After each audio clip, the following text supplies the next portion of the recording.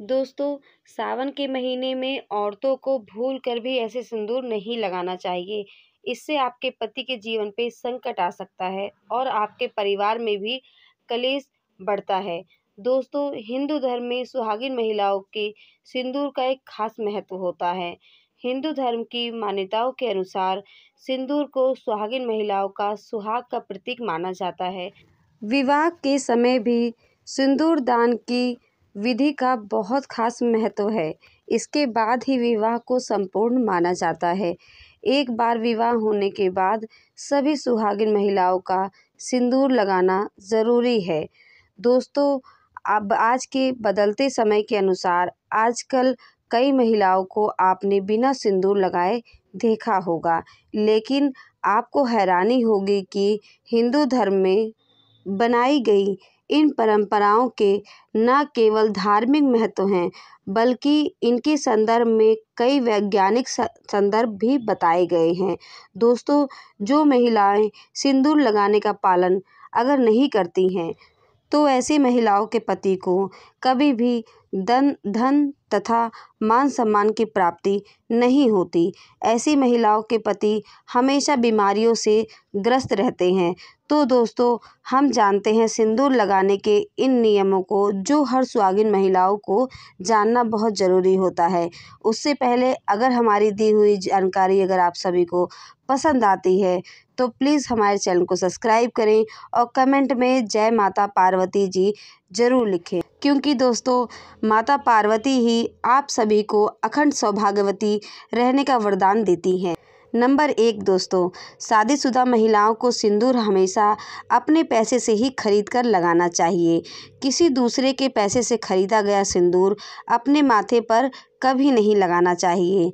Number दो दोस्तों, चाहे कितनी भी बड़ी मजबूरी क्यों ना हो, शादीशुदा महिलाओं को किसी भी दूसरी महिलाओं का सिंदूर अपनी मांग में भरने से बचना चाहिए।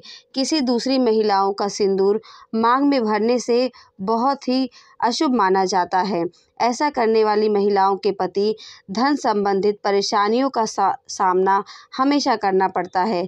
पति का काम धंधा सब चौपट हो जाता है। ऐसे करने से पति की आयु दिन ब दिन घटती जाती है। नंबर तीन, सुहागिन महिलाओं को किसी भी मंदिर से तथा माता रानी की चौकी से उपहार में मिले सिंदूर को अवश्य लेना चाहिए।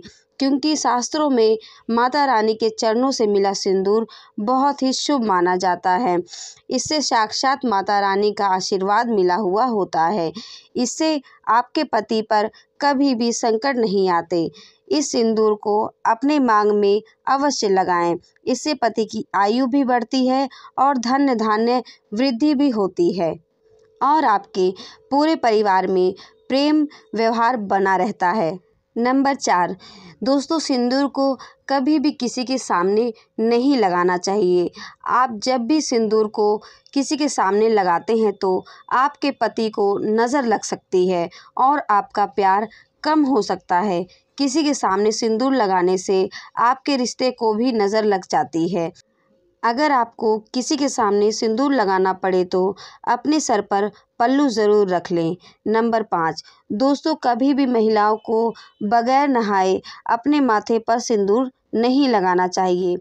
सबसे पहले महिला नहा लें, अपनी मांग में तब सिंदूर लगाएँ, फिर उसके बाद घर की पूजा पाठ करें। सिंदूर लगाते समय आप हमेशा अपने पति की लंबी आयु, उनकी सफलता के बारे में ही सोचें। इससे आपका भाग्य और भी प्रबल और भी शक्तिशाली होता है। और मांग में सिंदूर लगाते समय माता पार्वती का ध्यान अवश्य कर लें, क्योंकि अखंड सौभाग्यवती का वरदान माता पार्वती से ही प्राप्त होता है। नंबर छः, दोस्तों, अगर आप सुहागिन हैं तो आपको सदैव रंग रूप में ही रहना चाहिए। घर में अगर किसी भी तरह का सूतक है, या फिर मासिक धर्म, या आपके ऊपर कोई भी मुसीबत क्यों ना आ जाए तो शास्त्र कहता है, जब तक आपका पति जीवित है, तब तक आपको साल के तीन सौ पैंसठ दिन हर हाल में सिंदूर भरना है मांग में। सिंदूर लगाने के बाद महिला अपने आप ही पवित्र हो जाती है। नंबर सात, जो महिलाएँ मांग में सिंदूर नहीं भरती वो दरअसल अपने पति की मृत्यु का शोक मनाती हैं। इसीलिए माता सीता कहती हैं कि मांग में सिंदूर अवश्य भरना चाहिए। नंबर आठ, दोस्तों, सिंदूर का गिरना बहुत ही बड़ा अपशगुन माना गया है। इसीलिए सिंदूर बच्चों की पहुँच से दूर रखना चाहिए। सिंदूर को हमेशा सुरक्षित सुरक्षित स्थान पर ही रखें, क्योंकि सिंदूर जब गिरता है तो पति पर कष्ट आते हैं। माता पार्वती क्रोधित हो जाती है। सिंदूर गिरते ही माता रानी से क्षमा मांगे। सिंदूर को हमेशा माथे से लगाकर किसी पेड़ के नीचे रख दें। सिंदूर में माता पार्वती का वास होता है। नंबर नौ, मांग भरने के लिए सूखे सिंदूर का ही इस्तेमाल करें। आजकल मार्केट में कई तरह के लिक्विड सिंदूर भी उपलब्ध हैं, लेकिन इसे लगाना अच्छा नहीं माना जाता। शास्त्रों के अनुसार माथे पर और नाक पर जब सिंदूर गिरता है तो उसका मतलब है कि आपका पति आपसे हमेशा प्रेम करता रहेगा। नंबर दस अगर आपसे सूखा सिंदूर सही तरीके से नहीं लगता तो आप अपनी उंगली को थोड़ा सा गीला करके सिंदूर को टच करके माथे पर भी लगा सकते हैं। इससे आपका सिंदूर माथे पर नहीं गिरेगा।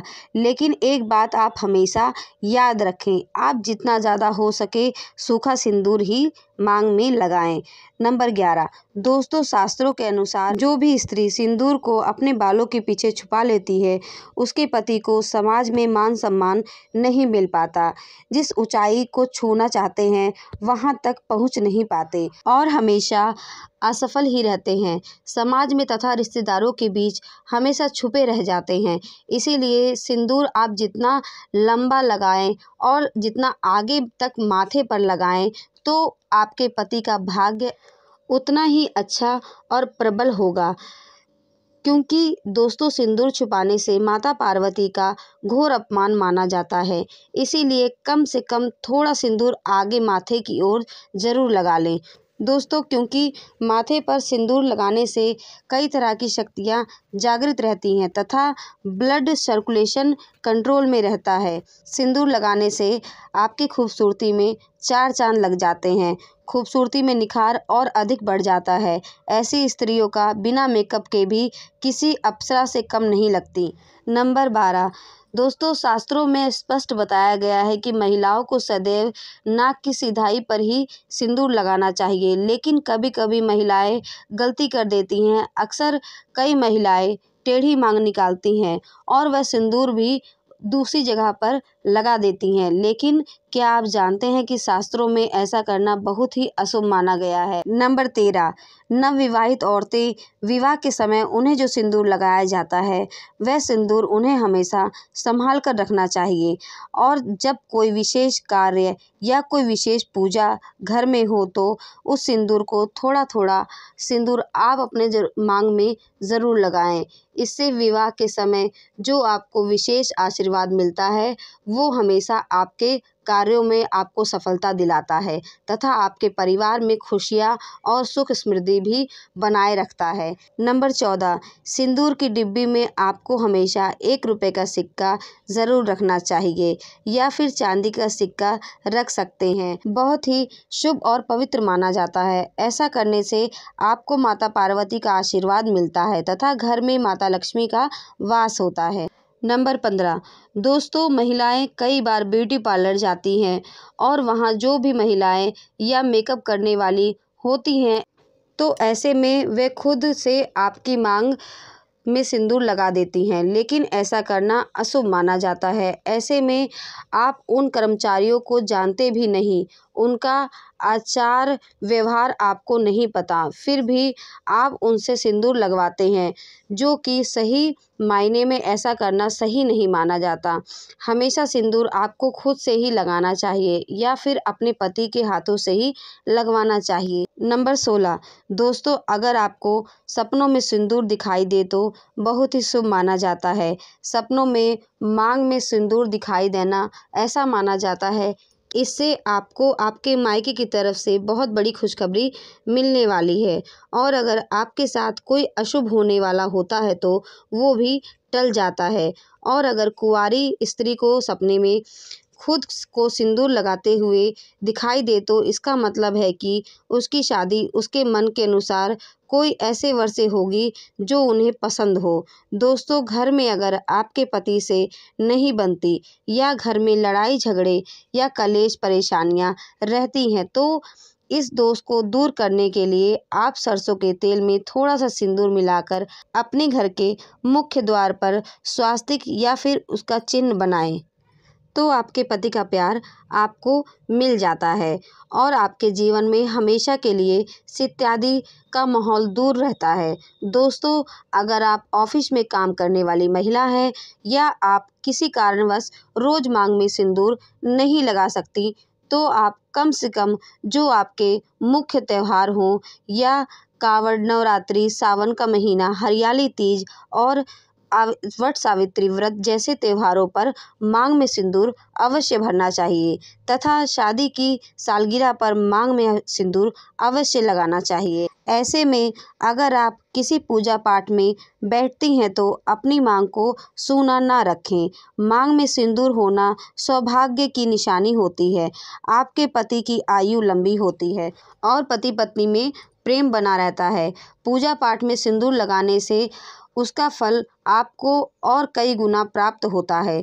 दोस्तों, अगर आप कभी कामाख्या मंदिर जाएँ तो वहाँ से सिंदूर अवश्य लेकर आएँ। क्योंकि कामाख्या माता की द्वार का सिंदूर माथे पर लगाना बहुत ही शुभ माना जाता है, मंगल कार्य माना जाता है।